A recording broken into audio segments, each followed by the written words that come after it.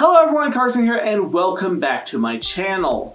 Now in today's video, I wanted to give you a really quick rundown of how VPS hosting works and what VPS host you should choose if you decide to go with VPS hosting. So I will actually leave a link to the VPS host of my choice in the description below, which I will get into and expand upon later in the video, but if you want to check that out, you can do so.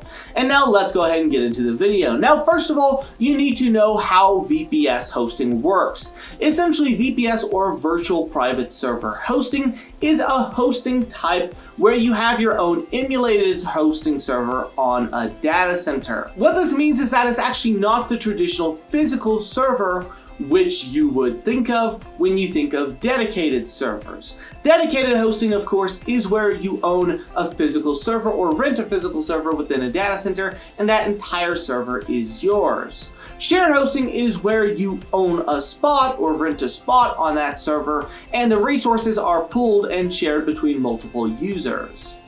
VPS hosting is actually kind of a hybrid between these two in the fact that you don't actually own an entire physical server. Instead, you own or you rent a small virtual piece of it, an emulated server within the physical server. The benefits of this, of course, can include a high uptime and an improved latency as well, since the performance can be customized per virtual server. If you do want to check out VPS hosting though, because I do actually highly recommend it, what are good VPS hosts to pick? Well, Actually, the one I've got linked in the description is called Scala Hosting.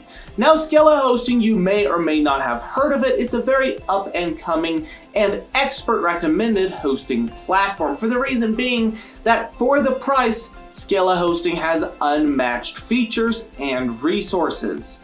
A lot of VPS hosting platforms will try and be the cheapest or try and be the most expensive and the most revered, but Scala Hosting doesn't actually do that. What they do is they aim to have the most features for your money. So basically what I found is that when you use Scala hosting, when I have reviewed it in the past and when I've actually used it, it seems to have a lot of different features and resources available for a very, very small price. And if you actually run through the breakdown, it would normally cost multiple hundreds to get the same features which Scala Hosting actually offers on their $10 a month plan.